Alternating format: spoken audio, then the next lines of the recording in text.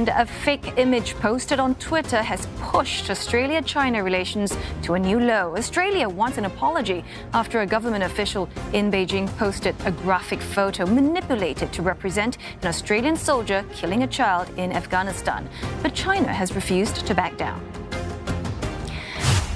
And for a closer look, we are joined now by Dr. Pradeep Taneja at the University of Melbourne. So, Dr. Taneja, a new low in an already tense relationship. Firstly, are you surprised by this tweet from, Ch- from China's side? And uh, what exactly is their objective here in sending out this tweet? Um, I'm really surprised by this tweet. I mean, not that uh, Mr. Zhao Lijian, who has tweeted this picture, um, I mean, he's known for taking a very aggressive approach in diplomatic relations. When he was a Chinese diplomat in Beijing, that's where he really honed in his skills at a more aggressive diplomacy. But I think there have been better times. I mean, this is a this is definitely a new law in the bilateral relationship between Australia and China.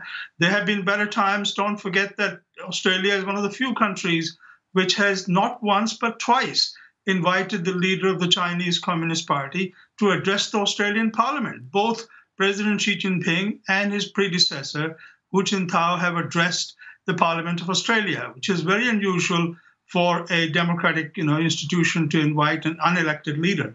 So the current relationship is really bad. I've never seen it so bad in the last 35 years of my watching this relationship. Mm. You know, uh, it, appears uh, to us watching from the outside that China appears to be targeting Australia specifically uh, in this particular way. As far as you can tell, is this the case? And if so, why? I think other countries have also been targeted. I mean, you can talk to people in Sweden or in the Czech Republic.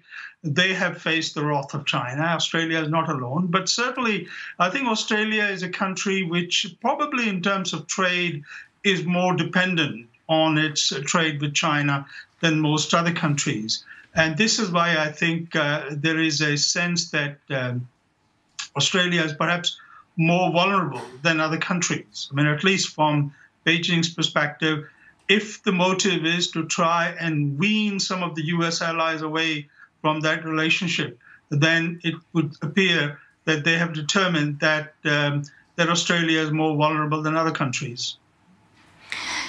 Now, you've also mentioned that you know you've never seen you know their relationship reach this sort of a, a low um, before, and uh, as a matter of fact, Australia also says that you know its request to hold these meetings with China have been declined.